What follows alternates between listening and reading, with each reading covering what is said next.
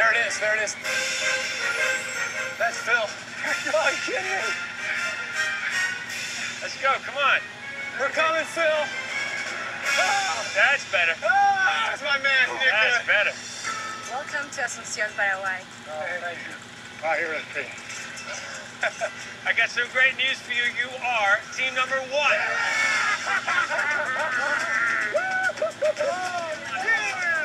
As the winners of this leg of the race, you have won a trip to from Travelocity, and you will be going to the Bahamas. Rachel and Dave, you're the second team to arrive. However, because you smashed all your bottles at the roadblock, you have incurred a two-hour penalty, and you'll need to wait that out before I can check you in. So go grab a seat. Today was a complete failure on us as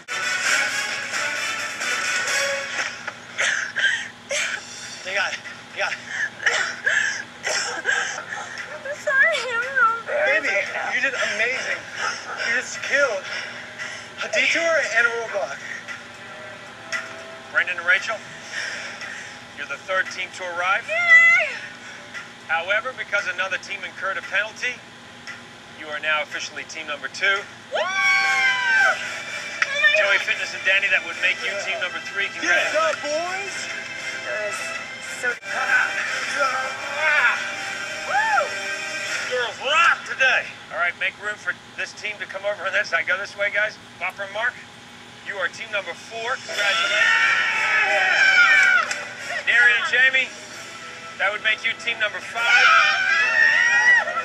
Rachel and Dave, this is the first time ever on the Amazing Race that a team has not completed a challenge on a leg and stayed in the Amazing Race. You are now team number six. You're still in the race.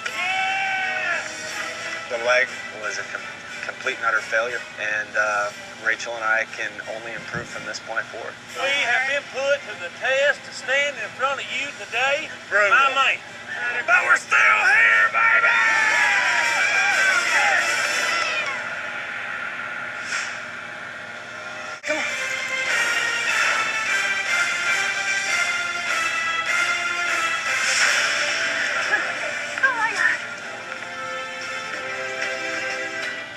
Vanessa and Ralph, you are team number eight. Hey. Oh God. Just staying in the race. You killed that, bro. Elliot and Andrew, you are the last team to arrive. Damn it. I am sorry to tell you that you have both been eliminated from the race. Good job, bro. Good job, guys. Good job, guys. Good job, team. Good luck, fellas. Well done. How do you feel? I'd be lying if I didn't say I was devastated. It Makes me feel bad, dude. I feel, I feel like I let my brother down. So what do you, what do you say to your brother now you hear him saying this? You know, we're gonna look.